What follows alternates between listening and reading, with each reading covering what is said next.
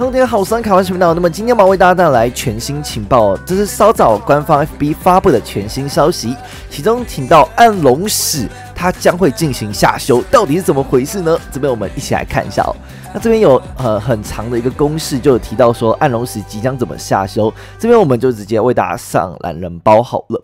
在呃下修之前，就是大家现在所看到的暗龙史呢。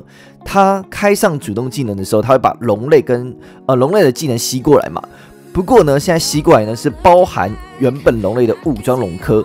那在上呃在下修之后呢，暗龙使就会变成是它不计算其他龙队的武装龙科，它只算暗龙使的武自己的武装龙科啊。所以这个会把暗龙使呃实际的输出倍率降低。所以，呃，这个应该是算是下修啊。那到底怎么回事？我们其实来看这个公式就懂了。在呃修正前，也就是大家现在所使用的暗龙使，它的倍率是原本暗龙石的武装龙科攻击机值 A，然后再加上其他龙类的武装龙科机值 C，然后再乘以一点五倍。一点五倍这个倍率是暗龙石使用它主动技能招来后的一个加成倍率。然后最后这这一长出来再乘以一，一就是。暗龙石的武装龙科倍率，这样就会造成这个暗龙石的武装龙科重复计算啊。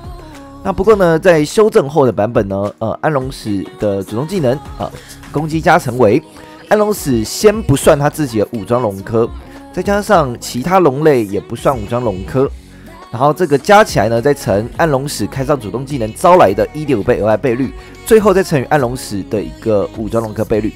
所以修正后的倍率被牺牲掉的，呃，有这个暗龙使本身重复计算的武装龙科倍率，以及其他龙类的武装龙科倍率。那我个人觉得啦，要改成是呃 B 加 D 乘一点五乘一会比较合理啦。毕竟其他龙类的武装龙科可以算进去比较合理吧。不过呢，这个正色呢，哎。就在二十二零二二点三版本后会被修复成正色，所以在呃以后呢，暗龙时会比现在伤害输出还要来得低，这个大家要注意哦。那以上就是这次的这个震慑全啦，跟大家做一个分享。以上就今天的影片内容，如果大家想看更多关于新的影片，别忘了开启你的电脑与分享文章，下周新的影片就等你，我是阿凯，我们下部影片见，谢谢大家，拜拜。